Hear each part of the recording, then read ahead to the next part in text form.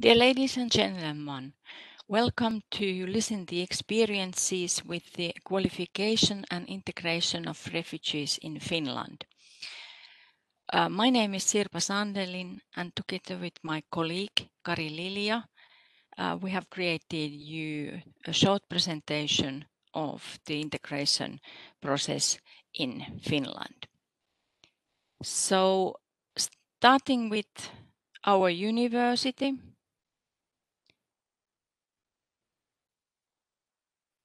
Uh, we represent the uh, Satakunta University Applied Sciences, and uh, this university uh, is uh, on the west coast of Finland, and we are non-profit higher education institute. Uh, we have about 400 staff members and provide bachelor and master degree level studies. Altogether, we have 39 degree programs and also 12 programs totally in English.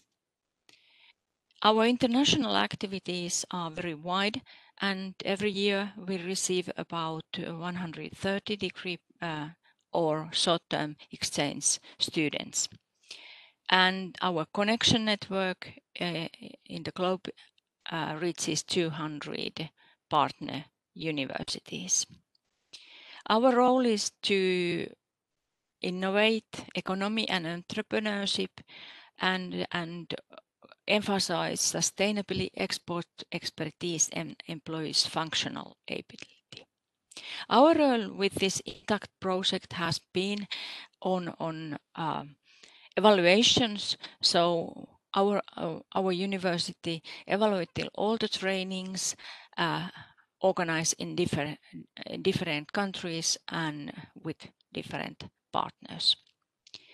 So the integration process, if I told a little bit about that in Finland, it is based on legislation, Act on Integration of Immigrants and Reception of Asylum Seekers. And the main idea is to promote integration, equity and freedom of choice of immigrants through different measures to, to ask acquire different uh, needed knowledge and skills so that the uh, immigrants can function in the society. society. The costs which occur during this uh, integration process is met by the state budget.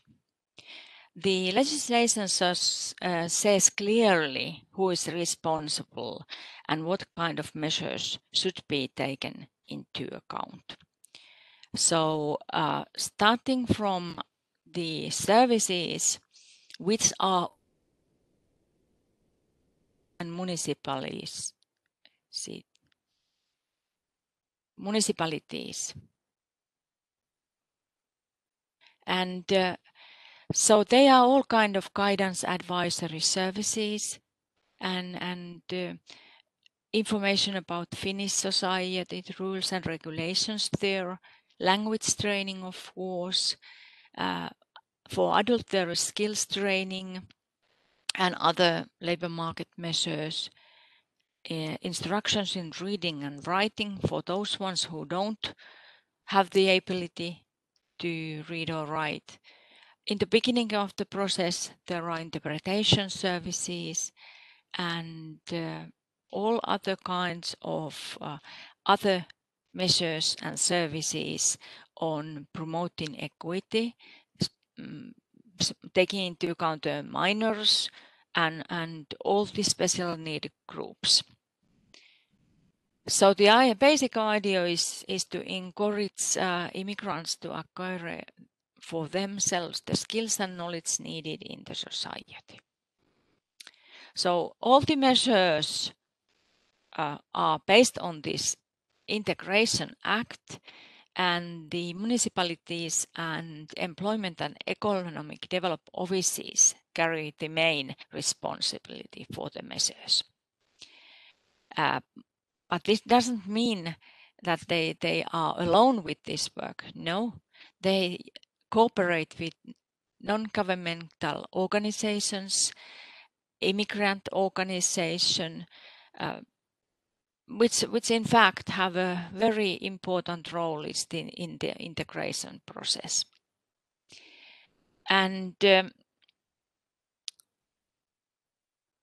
this work with integration of immigrants is the kind of work that we need to work uh, together with all stakeholders, find new work forms and find really good efficient cooperation between authorities and other actors. Uh, the measures which are stated in the Act, they are, of course, the basic information about the society, all kinds of guidance and advice. And then very important is this in initial assessment, uh, which means that uh, um, taking into account the immigrants' previous education training, what kind of employment history they have, what is the language skills, and all the other other issues which which are necessary to know know. And based on this initial assessment, then the integration plan is is created, uh, and the integration plan is always an individual and person personal plan. So it may have integration training. Of course, in the very beginning, when uh, uh, immigrants come to Finland, they get the basic integration training to the society and language. But later on, there will be uh, training for labor market or uh, towards labor market and uh, also the integration may have independent studies. So we take into account count the uh, uh, different studying op options and possibilities. And they, they are going to create it so that the immigrants in, uh, educational needs are taken into account in different life situations. Then plenty of other supporting measures uh, for young people, children, elderly, um, those ones who need special measures and main thing is get the knowledge and skills needed in the society. And as I mentioned, there are plenty of other other actors in this uh, this puzzle. So you will see, see that one when I explain you the local system. So these integration activities are implemented in local local uh, scale and with cross administrative integration work. So it is always a multi-sectoral cooperation. And municipalities and employment offices are responsible for the integration work. And uh, main idea is to support internationalization, gender equity, non-discrimination in, in this local or regional setting. And also it's, it's important to have a positive interaction between different population groups. But we have to remember that uh, the immigrants, they should have opportunities to preserve their own language and culture. Now one example of the local immigrant coordination network. Uh, this one is from the West Coast. It's called MACO network. So it is a coordination group for work among the immigrants. So it's an umbrella system and uh, um, you can see the actors on this uh, circle. So there are vocational school, other uh, uh, educational institutes, municipals and state organizations, religious communities and third sectors. So plenty of actors and, and the Pori District Social and Health Services is the coordinator and facilitator of the whole whole uh, network and you can imagine how many actors we have we have in in this integration process and it must be said also that these uh, stakeholders, they work really well together.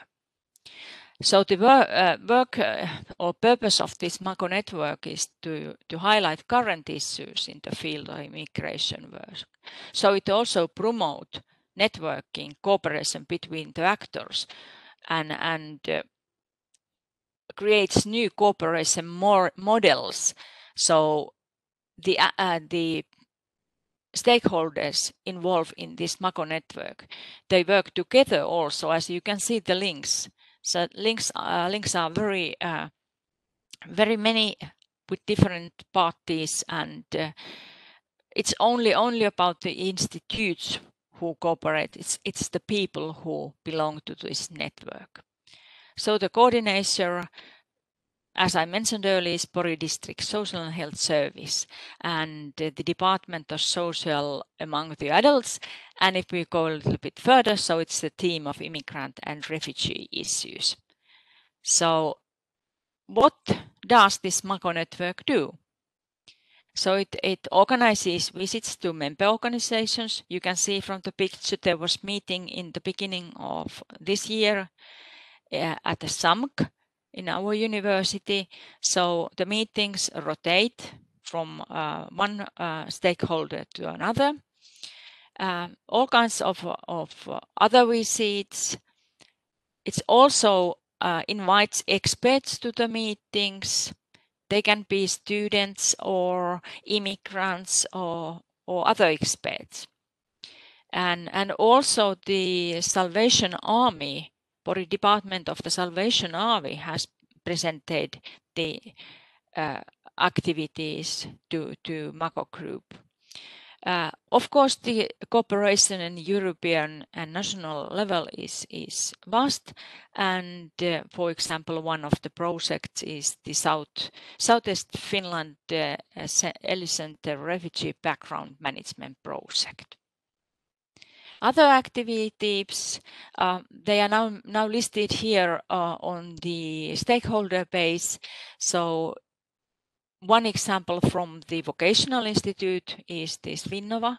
They organize integration training, vocational education, and also run European Union project. Uh, our university, Satakunta University Applied Science, will, will take part to the project like this in, uh, intact. And um, uh, University of Applied Sciences runs at the moment uh, a project called Stairs of the Learning to the Work Life. So it's kind of a project uh, which smooths uh, the transition from, from training to the working life, no matter what is the participant's background um, SAMK is also taking part in, in this project. Uh, then we have a municipal municipal of Pori Department of Education and Culture. So they have um, they, their responsibility is to give education to the primary level, uh, from the primary level to vocational level. Also language education and all kinds of employment activities. Then example from, from Multicultural Association of Satakunta. So um, it organizes language courses, runs a helpline, crisis helpline, um, organizes events and happenings for all ages, and they run this uh, international meeting place. They have different kinds of clubs uh, for adults, um, families, children, it can be music, language, or uh, other activities. Um, then um, they also run the own career project, which uh, which is a project. It's called uh, called Oma Arvo in Finnish, own value, and uh, the idea is to provide new and current information on this equity, self-determination, and understanding of deep social topics. And, and to raise the social awareness and increase involvement of immigrants in, in the Satakunta region. So this project organizes workshops, lectures, chats, consulting help and so on. Just to give you some examples what they do. Then we have other actors like Mannerheim League for Children, Finnish Red Cross, uh, which operates the immigration detention centers and uh, organizes integration training, other training activities. And this Finnish Red Cross, for example, organizes um, help for for immigrants if they they have to uh, use Finnish language or they receive letters which are in Finnish and, and they don't understand the message. So there are volunteer people who then help the immigrants to to cope with the with the language questions. Uh, the Intersister Society of Pori, it's also contact points, cultural activities, and Salvation Army. Army's role is uh, mostly providing clothes and food, food for people, no matter what is the background. And so you, you got a picture of how vast group the local uh, immigration network is. So besides those, we have also collected links to the Finnish integration site. So, so from the internet, you can find very many stories and videos dealing with, with immigrants. So the national integration site is the main site where you, for example, find videos on understanding Finnish culture. Uh, you get the language and social service links, and uh, also at the at the today when we have this corona corona crisis, so also information about that. Then we have authority of immigration. So that link leads to pages where the the process description is given and and also uh, information with video uh, about these processes. Ministry of Economic Affairs and Employment. So it it has very um, good pages uh, where the immigrants get information about the integration process, what kind of career services are available, and also they they have services for entrepreneurship, entrepreneurs and enterprise uh, establishment. So if uh, immigrants want to create their enterprise, they can contact this this Ministry of uh, Economic Affairs and Employment. Red Cross, uh, they organize all kinds of uh, materials uh, for service of services. They also run these uh, detention centers and the first day, first aid training courses. They organize those ones. And still some uh, general pages. So moving to Finland, if somebody wants to come to Finland, they can find information from from uh, web. Uh, there's a refugee advice center, center and also, also health services uh, net links. So plenty of actors uh, and, and information is available. So if you want to have these slides or want to know uh, something more about the integration process in Finland, be free to contact me. So my email address is on this slide. So I will provide uh, more material if needed. Thank you very much.